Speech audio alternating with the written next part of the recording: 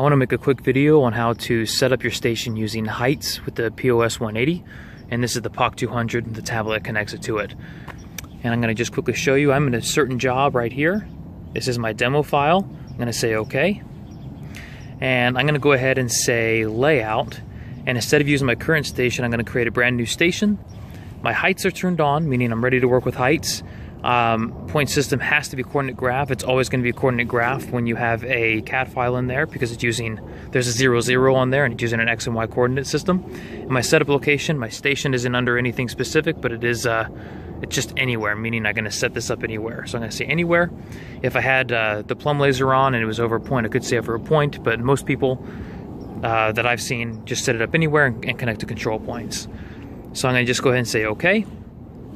I'll call it station 6. Height of instrument, I'm not going to say anything concerning height of instrument because that does not matter.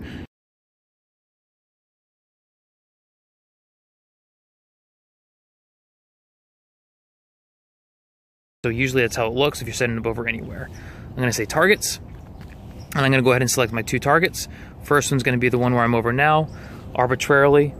This is going to be my CP1. I'm going to say OK and my height rod is five feet. As you can see right there, it takes into account this section. So I'm gonna just say measure, measure that distance. I'm gonna walk to the other one and do the same thing.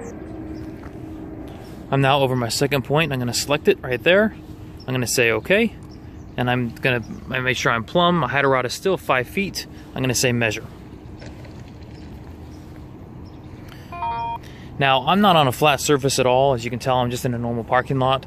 Um, and uh, you can see that using tape measure horizontally, I'm about 3 16ths off. For my sake in this demo, I'm going to be okay with that. And my differential in height, because my heights are turned on, is telling me that my differential in height is actually about an inch, one inch and one eighth from point number one, which I had over there, to over here. And you can see I'm on a little bit of a dip.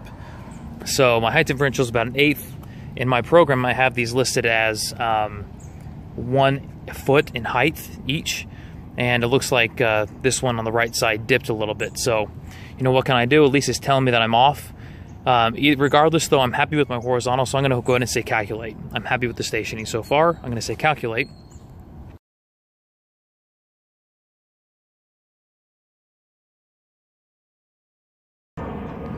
And this comes up. This is when I want to set my station height. Now, benchmark point ID. If I have a point that I have already programmed in my CAD file that has the height I want it, I can select that point. Let's say it's CP2, for instance, where I am now. Now notice it automatically uploads exactly the height of what that that that point is that that's listed in the CAD file. Now all I do is I say my height of instrument does not matter is zero. My height of rod is what matters. It's five because it's measuring to the rod. My station height, therefore, if I measure, is going to be six foot three and three eighths, which is saying that okay, from that point, which I'm telling the tool is one foot, to the station, the station is technically six feet three and three eighths inches high. Okay, so it's about a foot higher than my rod, which is at five feet. Now, technically,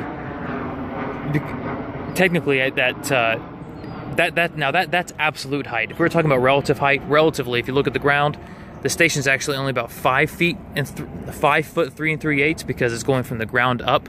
But because I have the ground listed as one foot, the station height's coming in as six foot three and three eighths. So the station knows how high it is at my elevation. I just measure that point in there and I'm good to go. And now, as I go and I measure out my CAD file, it's going to be using that height as my benchmark for everything I do. So, for instance, I'm going to say OK. I'm going to log in. I'm going to go ahead and let's lay out a point real quick. I'll go back to CP1. And remember, like I told you, this is not a level surface. So I'm gonna just get this level here real quick.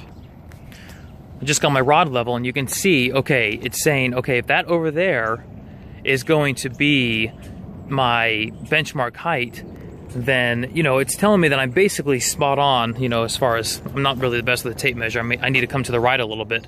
But I'm basically spot on as far as my easting and my north. But my height, my Z variable, is off by two, two inches and five sixteenths. So actually, I'm that was a lot bigger dip than I thought. That's 2 inches and 5 16ths lower on the right side than it is on the left. So one of the nice things to note is even though I stationed, when I stationed my height differential was off, when I put that benchmark height in, it now is reading everything off of that benchmark height instead of when I when I set the station, and now it's able to tell me accurate accurate height readings. Before it wasn't able to, it wouldn't have been able to do that if I didn't set that station height like that. My easting and westing, it's fine to tell me exactly where my easting and westing is. And my, when I say east and west and north and south, I mean this is telling me how far horizontally I need to go back or forwards with the tool. This left and right arrow is telling me how far left and right I need to move from the tool, and this one's telling me how high I need to go. So in order to be level with that point over there, I need to move my prism up. Well, technically I need to move the ground up two inches five sixteenths. So I hope that makes sense, and I'll kind of just show one more time. If I go back, I'll go back into the new station and new height, right? I can either select a point and use that as a benchmark, or I can actually just say manual height. This is a one of the most common things to do. I say manual. I just say, okay, I'm going to record my elevation at 150. Let's say, let's say I want to measure. I'm on a I'm on a, a large concrete slab, and I'm at, at the 20th floor, and I'm 150 feet above sea level. If I'm 150 feet above sea level, I just write that in right there. My height of instrument, because I'm setting up over anywhere, does not matter. If I was over a point, I would say how high I am over a point, and I would use this crosshair on the tool.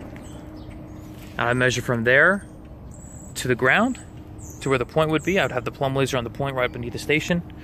I would write that in there if I needed to write that in. But I would say my benchmark height, my benchmark point, I'm gonna, usually the benchmark point is, uh, you know, an elevation mark that you have on uh, either the slab or usually on a uh, steel beam.